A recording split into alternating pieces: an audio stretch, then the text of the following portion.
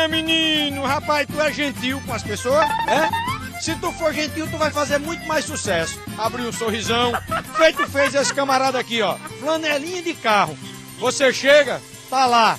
Boa noite, tomei conta do seu carro, graças a Deus, está tudo ok. Você não é obrigado a me dar dinheiro nem me gratificar. Colabore comigo se quiser. Vá com Deus. Josias Vigia. Josias, de quem foi essa ideia de fazer isso, botar nos vidros do carro quando o cara chegar, ler esse negócio e lhe gratificar ou não? O flanelinha tira paz. Ainda mais Sim. aquele que cobra, 5, Tem uns 10 que, tem uns que coagem o cara, diz, rapaz, tu tem que dar 10 reais aí, aqui é 5 reais. Se não dá, bom real Se o não carro. der, eu furo o carro, É, arranho o carro. Isso é errado, né? Então, eu não ando dessa forma.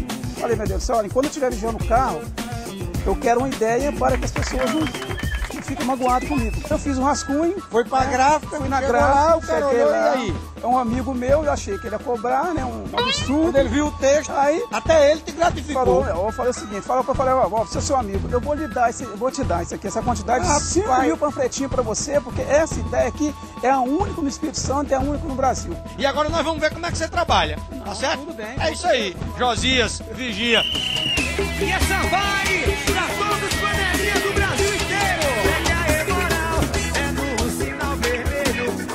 Tu leu aí, cara?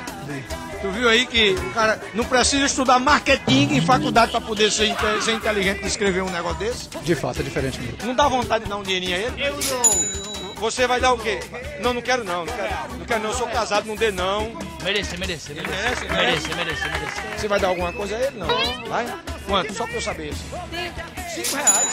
Josias, cinco, é? Eita, vai fazer, vai fazer o dia hoje, hein, Mário? Porra, então, O cara que escreve um negócio desse, ele merece 20. Merece 20. Que beleza, não merecia mais não, porque um carrão desse dava pra dar 100. Não, mas não dá. 100, 100 já é demais também. Você é da onde?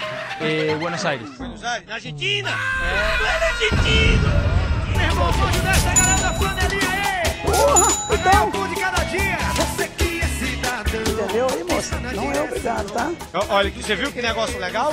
E depois a pessoa diz que loura não entende as coisas, né? É, isso é preconceito. Josias, Josias. Roberto Carlos, jogador da seleção. Olha se não é, do Corinthians, ó.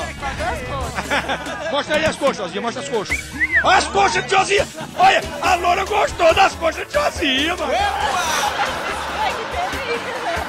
Já tinha ganhado 20, assim, Pô, não, tem cara é, que dá 20, é muito tem cara que raro. Isso mais. é porque o papel mesmo, né? Já chegou um ponto as pessoas lêem assim, rapaz, olha, eu detesto franelinha, tenho nojo de franelinha, mas depois dessa mensagem você me comoveu. Eu vou te dar porque, olha, de hoje em diante, eu gosto de um franelinha, você. Porra, então, Essa lição aqui do Josias, o marketing do Josias tem que ser é, aí passado para todos vocês, flanelinha, que trabalham pode fazer diferente. Esse recado é importante para você que trabalha, mas trabalha com alegria e esse sorrisão. Cadê o sorrisão?